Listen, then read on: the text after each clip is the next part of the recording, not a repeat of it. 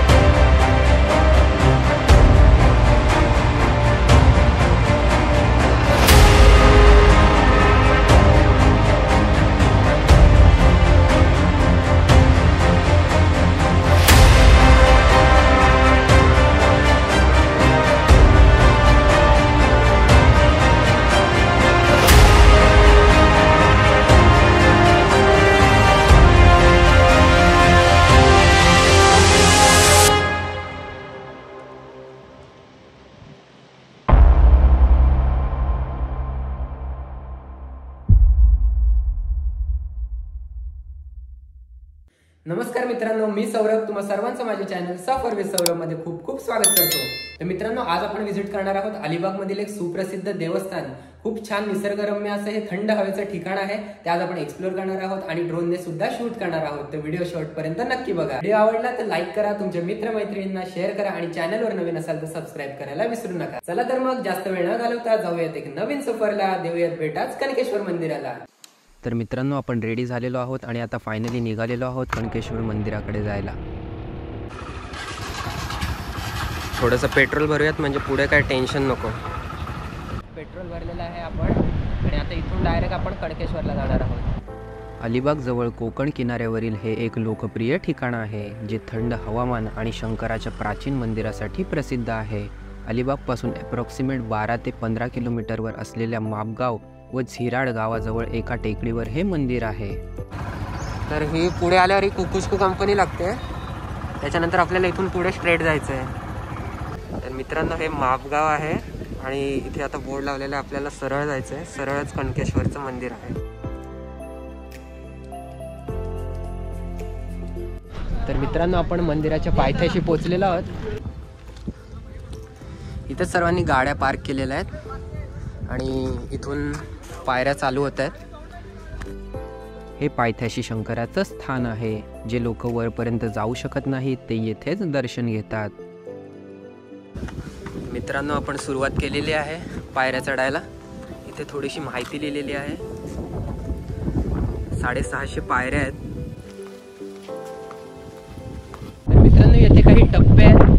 आणि त्या टप्प्यांचं काही वैशिष्ट्य पण आहे तर आपण ते बघूयात जाता जाता. येथे झाडांवर काही पाटी लटकवली आहे आणि काही संदेश दिलेला आहे. खूप चांगला संदेश आहे हा.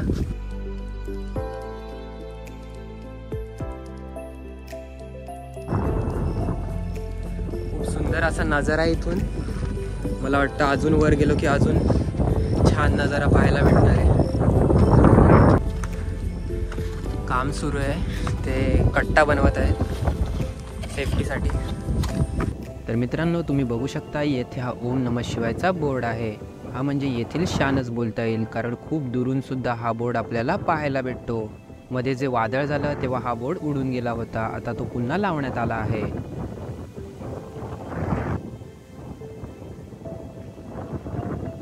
येथून अजून फोर ट्वेंटी फाय स्टेप्स आहेत पुढे. येथील प्रत्येक स्पॉटवरून खूप भारी व्ह्यू पाहायला भेटतो.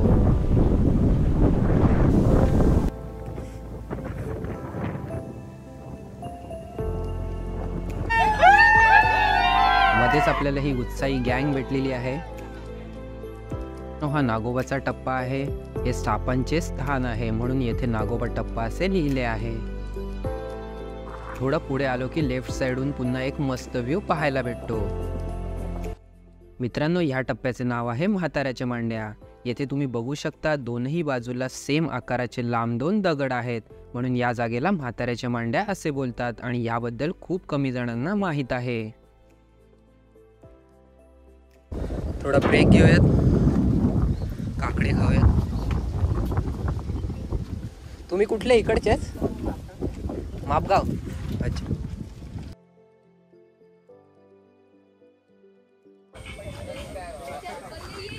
इथे वृक्षारोपण चालू आहे.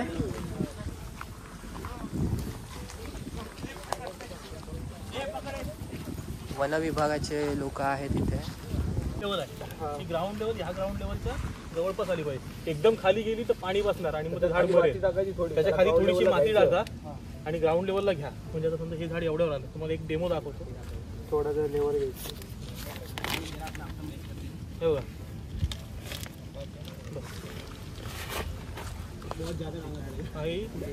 अजून थोडी घ्या. बस आता ही एवढी लेवलला आली ना? या लेवलला आता हे झाड लावायचं. दुसरी माती टाकून झाड लावायचं पूर्ण. म्हणजे ते झाड तुम्हाला जगेल मी सुद्धा वृक्षारोपण करण्यामध्ये सहभाग घेतला आणि माझ्याकडून एक झाड लावले. त्यामुळे मला खूप समाधान वाटले. आधार द्यायला लागेल वाटतं नाही तर काही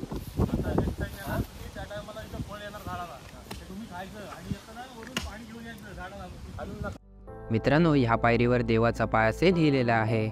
असं म्हणतात मंदिराच्या बांधकामानंतर देवाने स्वतः येथे पाऊल ठेवले म्हणून ही देवाची पायरी या नावाने प्रसिद्ध आहे. तर मित्रांनो हा पॉईंट जवळपास मिडलला आहे. तितक्याच अजून पायऱ्या वर आहेत जेवढ्या आपण खाली चढून आलोय.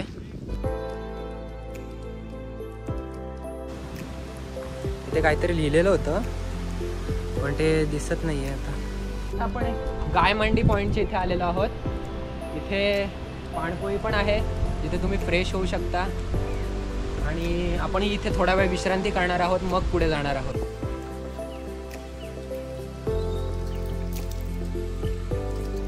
मस्त थंड पाणी आहे.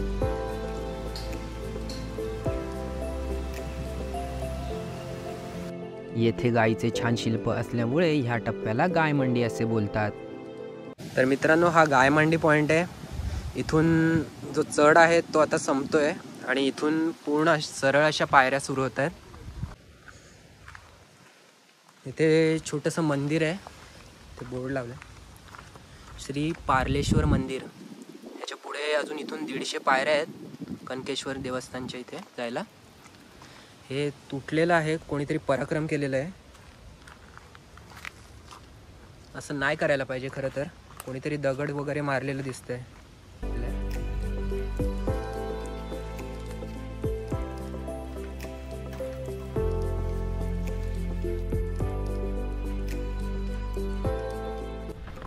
तर मित्रांनो एक महत्त्वाची गोष्ट म्हणजे येताना तुम्ही पाण्याची बॉटल नक्की कॅरी करा. कारण जाता येताना तहान वगैरे लागू शकते. वरती गेल्यावर तर आहे मंदिराच्या इथे खूप सारे स्टॉल्स आहेत. तर पण जाता वेळेस लागू शकते तर पाण्याच्या बॉटल्स नक्की कॅरी करा. ही कमान आहे आणि येथे श्री कणकेश्वर देवस्थान ट्रस्ट असे लिहिलेले आहे.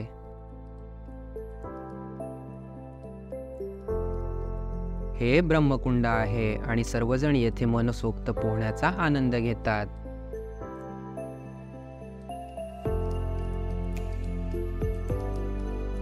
आता आपण ब्रह्मकुंडाचे काही ड्रोन शॉट्स घेणार आहोत.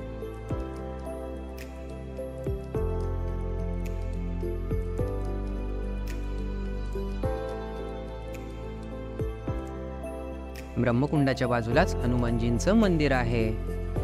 तर मित्रांनो आता आपण कुंडाच्या इथून पुढे चाललेलो आहोत. आणि बघूयात पुढे काय काय आहे आता. आणि मित्रांनो आपण आता मंदिराच्या जवळ आलेलो आहोत. मंदिराच्या एरियातच आलेलो आहोत. तुम्ही बघू शकता.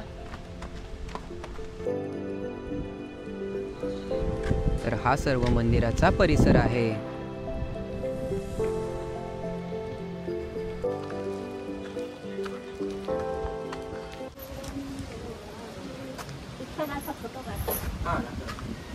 म्हणजे नाही आणि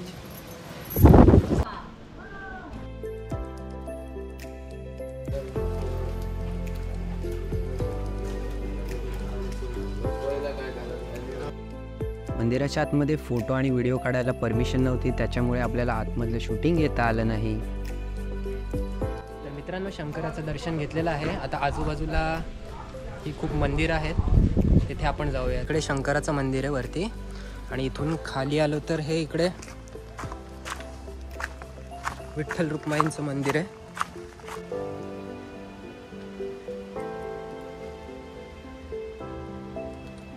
मित्रांनो इथे छोटे हे जे मंदिर दिसत आहेत हे हे हे कोणते म्हणाला हे कुंडेश्वर. हे कुंडेश्वर मंदिर आहे आणि रामेश्वर समोरचं. हे रामेश्वर असे पाच मंदिर आहेत. बाजूला मानकेश्वर.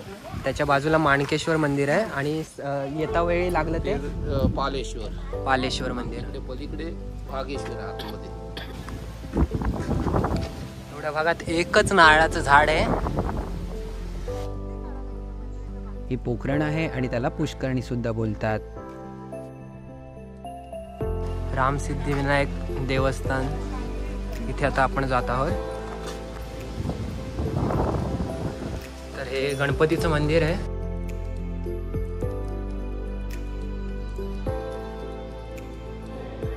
गणपतीच्या मंदिराच्याच अपोजिट साईडला विष्णूचं मंदिर आहे.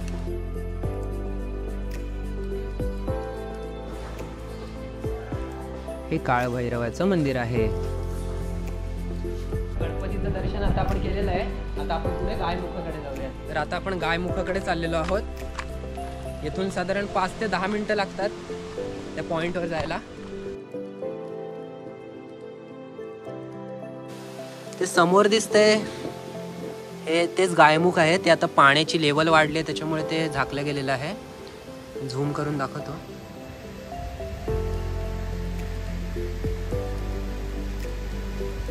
एवढाच झूम आहे माझ्या कॅमेऱ्याला. गायमुखाच्याच इकडून इथून एक छोटा कच्चा रस्ता आहे. तर आपण जाऊन बघूयात तिकडे काय आहे ते.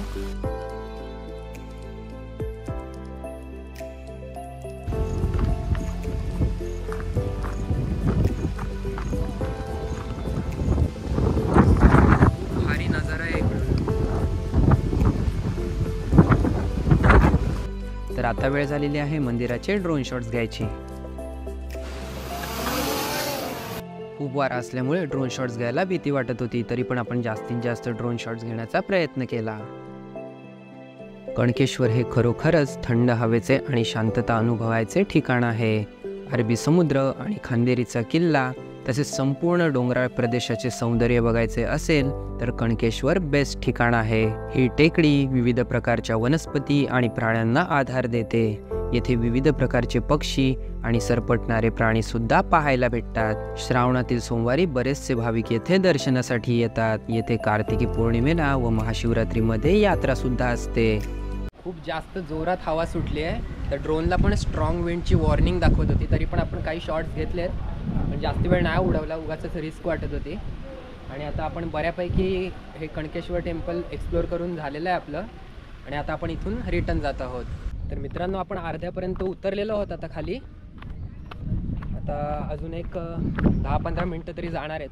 तर मित्रांनो फायनली आपण खाली आलेलो आहोत. पावसाची खूप कृपा झाली. एक थेंबसुद्धा पाऊस आपल्याला लागला नाही. त्याच्यामुळे आपल्याला सर्व काही नीट एक्सप्लोअर करता आलं.